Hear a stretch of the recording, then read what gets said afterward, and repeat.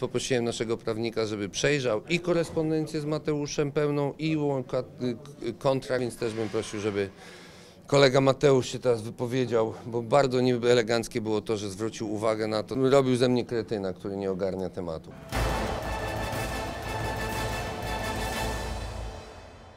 Gala XTBK SW Epic za nami, z nami Martin Lewandowski. Pierwsze pytanie, czy KSW Epic to będzie coś, co będzie kontynuowane? Mówię o tym projekcie. Jak pytasz mnie osobiście, uważam, że tak, że, że, że to jest wiesz, wydarzenie i w ogóle taka formuła chyba się bardzo mocno przyjęła, mm, patrząc po ilość jakby wszystkiego, co się działo w mediach, plus jeszcze e, wiesz, tutaj jak żywiołowo i gorąco kibice przyjmowali, przyjęli ten projekt i, i w ogóle wzbudziliśmy pewną taką ciekawość i, i te nowe formuły z 10 walk 6 w nowych formułach chyba się fajnie obroniły. Natomiast no, to będzie jakaś tam, wiesz, kolektywna e, decyzja, jeżeli chodzi o to, czy będziemy kontynuować. No chcę wysłuchać wszystkich działów, jak te wszystkie działy Federacji KSW na to się zapatrują. Który z pojedynków y, w której formule podobał Ci się najbardziej? Najbardziej utkwił w pamięci? No myślę, że ten cage Muay Thai, no i oczywiście chyba wszystkie, tak jak szybko przelatuje głową, wszystkie w, w pojedynki w MMA, jakby nawet, nawet ta, to w kimonach y, było ciekawe, nawet y, wiesz, no walka, e, no turniejowe wszystkie, rezerwowa tak zwana, No tak, no i oczywiście ten Stoszyć no, pokazał po prostu, no, że jest, wiesz, nie za, do zatrzymania Mike Tyson. A wiesz, że on o mało nie znokautował Piotra Jarosza? Ja rozmawiałem z Piotrkiem Jaroszem. No tak, on tak, był u tak. medyków po, po tej walce. Tak, tak, no właśnie to był pierwszy przypadek, że właśnie chyba, chyba pierwszy, nie wiem, żeby z, po prostu sędzia e, poleciał, e, wiesz, e, na dech e, szybciej niż zawodnik, więc e, tak, no zdarza się. No widzicie Państwo, jak niebezpieczny jest to sport, jak niebezpieczne jest to zajęcie, więc wiesz, nie próbujcie tego sami w domu. Jedna z walk, y, nie powiem przez kogo, ale y, słusznie została nazwana Event Killer. Y, No starcie Sztosicia e, z Joshem, no, E, był... Fila, było- Fila de Frisa, Fila de tak, Frisa z no. Była, No, słuchajcie, znaczy to ja bym tak nie patrzył na to. Znaczy po pierwsze, wiesz, to trzeba jakby tak, jeżeli chodzi o event w całości, jak miałeś w ogóle zajebiste pojedynki, które się kończą przed czasem, wiesz, spektakularne cage Muay Thai i później jeszcze, wiesz, main event, y, finał turnieju i tak dalej, więc jest tyle dużo, było pojedynków, było i które miały nastąpić, no rzeczywiście, jakby to ludzie mówią, jakby no gdzieś, gdzieś tam powietrze z nich zeszło, zeszło takie, e, no nie wiem jak to nazwać, jakichś takich wiesz emocji, wiesz, fanowskich. Natomiast ten pojedynek w ogóle jakby od strony grapplingowej nie był zły. To ustalmy, to by po prostu w tym akurat kontekście on może się nie sprawdził rzeczywiście. Natomiast wiesz, no jakby tam cały czas był, bo wszyscy mówili, o ten film będzie, Jezus Maria, ten film będzie, ten film będzie leżał na gościńcu, no, tam cały czas była akcja. Oczywiście, że na początku po prostu się, wiesz, mm, mm, e, próbowali tam przepychać i wyczuć, ale jakby od strony grapplingowej to myślę, że każdy, kto by tam na to na spojrzy, to, to myślę, że, że no nie postawi na tym już krzyżyku tak na zasadzie, że to był beznadziejny, nudny pojedynek. No Phil próbował dużo zrobić, no niestety znowu mu się nie udało w taki sposób po, poddać, czy też skończyć przeciwnika, więc jakby tak, jeżeli pytasz mnie o całą ten, to mam to samo wrażenie. Mm, E, Artur Szpilka właśnie sobie przypomniałem, jak z panie promotorze, panie promotorze, co to jest? Więc już dostałem zjebkę podczas tego pojedynku. Natomiast e, w, w tym jakby kontekście, czy w całości rzeczywiście to był najsłabszy pojedynek. Grapplingowo nie był słaby. Wydaje mi się, że jeżeli będziemy chcieli pokazać submission, to na pewno Niższe z młodszymi kategorie. ziomkami tak i, i niższe kategorie, że po prostu no, ta mobilność była na kompletnie innym poziomie, choć mówię, no i tak jakby jak sobie panowie pomyślicie 120-130 kilo ziomki, no to, to naprawdę to, to nie można powiedzieć, że to były flaki z olejem. A jak oceniasz to, co stało się w, w walce wieczoru? Oj, no to odebrało jakby cały taki mm, największą taką radość, żeby też jakby zawodnicy czy teamy nie odczytały tej mojej wypowiedzi, jako że ja mam jakiś, nie wiem, jak to powiedzieć, e, że jestem rozczarowany, jakby no, po prostu no, takie rzeczy się zdarzają, tylko mam duży niedosyt. Duży niedosyt, no bo ta walka już nie wróci, a Mamet no, w trakcie pokazał, że znalazł jakieś rozwiązanie na tego Tomka i naprawdę no, z każdą minutą e, wyglądało na to, że Mamet sobie może z Tomkiem Adamkiem poradzić, więc jakby wiesz, no to zaostrza apetyty, no i nigdy nie lubię jak takie kontuzje się zdarzają, nigdy nie lubię jak są faule, nie lubię jak są wiesz jakieś dyskwalifikacje, no bo to zawsze mówię, no musiało być, no po to się zestawia pojedynek, żeby na koniec dnia tak sprawiedliwie jakby wiesz, powiedzieć, pokazać czy, czy, czy ocenić kto był lepszy, więc Mamet, świetna forma, świetny w ogóle, naprawdę no to co chłopak zrobił i jego cały team, no to naprawdę się należy duży, e, duży aplauz, no i taki niedosyt, no ale mówię, to nie mam tu pretensji, mam do jakiegoś zjawiska, nie wiem jak to nazwać, no. Mm, Natomiast nie bezpośrednio do jakichś zawodników, czy też do tego, do teamu. Czy byłeś zaskoczony reakcją trybun? Bo wydaje mi się, że Więcej było... tak, że to chyba większy nawet aplauz tutaj dostał. Tak, no, no po prostu no, tylu było fanów y, Tomka Adamka, myślę, y, więc jakby się podzieliła ta e, publika, znaczy podzieliła w sensie nie do połowy, no ale myślę, że tak nie wiem, no, nawet nie robiliśmy żadnych statystyk, ale tak po, po tych głosach y, kibiców dochodzących, no to myślę, że tak 70% to było chyba za Tomkiem, chociaż w pewnym momencie mam wrażenie, że już się śmiałem tam w jednym mm, wypowiedzi, że już to takie Adamek i Mamet się łączyło jakieś takie słowo, którego teraz nie jestem w stanie powtórzyć, ale to jakiś nowy, nowy po prostu, wiesz, imię powstało w, w, w języku polskim.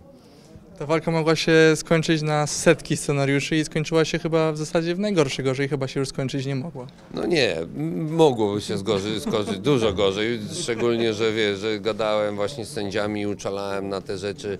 E, Panowie, ja tylko mówię, że ja już po tym uciekam, to już, żeby już nikt nie ten, dobra, już lecę, no dobrze, tam, bo tam widzę, że jakiś kolejny już naprawdę zmykam, e, że mm, no dużo gorsze scenariusze mogły się wydarzyć, e, właśnie takie, wiesz, że na przykład była jakaś e, nielegalny, no ze strony raczej Mameda, e, tak, no, no właśnie, to obalenie było piękne w ogóle, Wiesz, nie, co się dzieje, w ogóle mój scenariusz jest najgorszy, się ziszcza, więc nie, no mogło być, naprawdę przerabialiśmy wiele scenariuszy mm, z sędziami i też bardzo mocno uczulałem. I też chcę powiedzieć i chciałbym właśnie Was zapytać i chciałbym, żebyście zrobili taką sondę, bo niepotrzebnie jakaś taka gównoburza powstała przed samą tą walką, że ci sędziowie, którzy sędziują e, są e, no nie do końca dobrze dobrani, e, za co jestem, jestem zły za, Mariusz, za, za te słowa, e, ad, e, właśnie, nie, przepraszam, nie, Mateusza, tak, bo po pierwsze Mateusz zna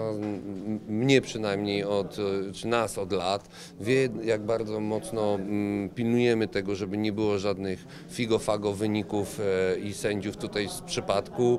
E, Celowo wzięliśmy e, takich sędziów, którzy przede wszystkim nie są bezpośrednio z MMA ani z boksu. To, że z boksu nie mogliśmy nawet znaleźć jednej osoby, to było albo, że po prostu za bardzo byli powiązani z różnymi środowiskami, albo po prostu nie dostawali, jak choćby e, sędzia Gortat nie dostał zgody na to, więc jakby pierwszy raz, po pierwsze w, w, wykluczyło jakiekolwiek możliwości takie sędziowskie, zresztą to mówiłem Tobie ostatnio, sama Unia, czy tam już Polski Związek, bo tutaj ci amatorzy, tutaj zawodowstwo, coś tam, więc jakby po pierwsze trochę System jest tam źle zb- zbudowany, a dwa ja już od początku wiedziałem, żeby po prostu nie było żadnych właśnie i tego się obawiałem. Nie obawiałem się ze strony ani nawet już tych z, sędziów z MMA, ani z, z kickboxingu, że będą po prostu jakoś tam, e, wiecie, próbowali majstrować na punktach. Boks tego słynie, że widzimy zawodnika, który przegrywa, a w dziwny sposób on wygrywa. Ja nie mówię, że u nas się nie zdarzają takie, e, takie wtopy, bo się zdarzają, ale najczęściej tacy goście mają jeszcze jedną szansę, jak druga niefajnie jest przesędziowana walka, no to po prostu się żegnamy z takimi e, sędziami, czy to jest też w środku. Ostatnio mieliśmy galę w Libercu, e, sędzia, który trzy razy miał e, okazję być w środku, no już też sobie podziękowaliśmy za współpracę, więc jakby wyciągamy konsekwencje, bo to nie jest tak... no i właśnie, i też jakby wrócę do tego, że trochę jestem zły na Mateusza, bo Mateusz wie, jaką wagę przywiązuje do tego sędziowania, żeby ono było jak najbardziej idealne i sprawiedliwe. I my po pierwsze, nie mamy nad sobą żadnego WBO, IBF-u, któremu tam, nie wiem, jak wygra mój zawodnik, to ja dostanę więcej hajsu, to ma boks. I dlatego tam dochodzi do różnych takich, e, e, wiecie, przekrętów, mówiąc w skrócie, bo tu nie ma co gadać i tam owijać w bawełnę. Więc jakby niedocenienie sędziów sędzia y, y, y, w środku ma 1100 walk przesędziowanych. Ja myślę, że on pewnie by mógł, mógł uczyć tych ziomali z boksu e, e, i e, jak należy pracować, więc po prostu no, było to nie, nieeleganckie zachowanie, szczególnie na ostatnio i proste. I tak samo główną prawdą jest to, że w kontrakcie mieliśmy jakieś zapisy, że, że wychodzi, mm, że wychodzi Adamek jako drugi, nie, jako miał być jako pierwszy, bo jest większa ilość walk stoczonych. To po pierwsze tak nie działa u nas, po drugie nie mamy takiego zapisu, ale oczywiście mówię sobie, no dobra, jestem zmęczony, już jestem na końcówce, więc poprosiłem naszego prawnika, żeby przejrzał i korespondencję z Mateuszem pełną i kontrakt, bo, bo może gdzieś mi umknęło to, więc nie ma, więc też bym prosił, żeby Kolega Mateusz się teraz wypowiedział, bo bardzo nieeleganckie było to, że zwrócił uwagę na to na zasadzie tak jak my, albo ja konkretnie, bo tam chyba parę razy imię moje padło, mm, no, że robił ze mnie kretyna, który nie ogarnia tematu. Ale to ja się domyślam, że było gorąco za kulisami, bo też wyszło nagranie jakieś z Rules Meeting, więc obstawiam, że Nie, nie było. Znaczy ja nawet nie dojechałem dlatego, że znaczy nie dojechałem nie dlatego, że nie chciałem, tylko akurat y, panowie właśnie z teamu Adamka przesunęli rules meeting wcześniej, i- a chciałem na tym być, żeby właśnie uniknąć jakichś później nieporozumień i tak dalej. I wiedziałem, no, że na koniec dnia no, to ktoś musi jebnąć mocną ręką, bo już po prostu mm, na, na ostatniej prostej ciężko jest, wiesz, negocjować. Wiadomo, że każdemu się udzielają jakieś emocje, e, no ale ze względu na to, że i Tomek e, i po- no, cały team chciał wcześniej to zrobić, a ja nie, wiedziałem, że nie dojadę, zadzwoniłem do, do Wojsława, mówię, słuchajcie, zacznijcie ten rules meeting, jak będzie tylko problem, to wtedy po prostu wstrzymajcie, no bo ja jestem w drodze. Spotkanie trwało 5 minut.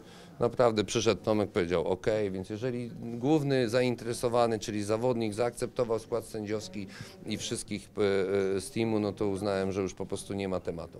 To było też takie kręcenie, wiesz, aferki po boksersku jednak, no.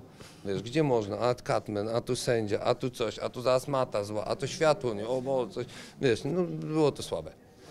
Jeszcze króciutko podpytam o ten turniej. Czy to była taka krótka podróż sentymentalna, czy jednak chcecie wrócić, zdał egzamin ten turniej i jeszcze zobaczymy e, turnieje na gali KSW Epic? Słuchaj, no te turnieje, jak wiemy, już jakiś czas temu nam chodzą po głowie. mm, Rozgrywamy. Oczywiście nie będziemy rozgrywać ośmioosobowego turnieju mm, e, na całej, na całej gali, bo, bo to jest po prostu morderczy wysiłek i, i też efektywność też zawodników w jakim stopniu spada. Nie jestem zwolennikiem tego. Od kiedyś to było po prostu czysto jakieś tam ekonomiczne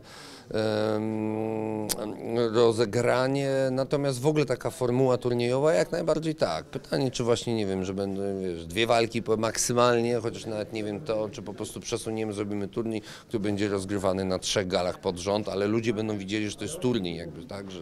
I też dajemy sobie możliwość wówczas, że nie musimy brać walki rezerwowej, bo to też jest takie rozwiązanie, żeby ten turniej dotarł do końca. Natomiast jeżeli mnie pytasz, to, to też mi nie jest to idealne rozwiązanie, no bo po to masz tam, nie wiem, ośmiu czy czterech zawodników, że z tej czwórki czy z tej ósemki chcę zobaczyć finalistów, a nie, że ktoś wpada z boku e, i trochę tak, wiesz, załamuje tą całą strukturę turnieju i mówię to w tym kontekście, że jak to się będzie działo z edycji na edycję, no to też jest możliwość, że ten turniej w tym składzie początkowym dotrwa do końca. I ostatnie pytanie i Cię puszczamy. Powyżej 100 tysięcy czy poniżej 100 tysięcy pay-per-view? Bo to powrót y, Wasz do, do, bardzo do tej dobre pytanie, formuły. bardzo dobre. Powyżej, dużo powyżej, proszę Państwa. Więc ogólnie bardzo zadowolony jestem naprawdę z całości i chciałbym, żeby y, main event dotrwał do końca. No I tak. wtedy to już by było, wiesz, takie...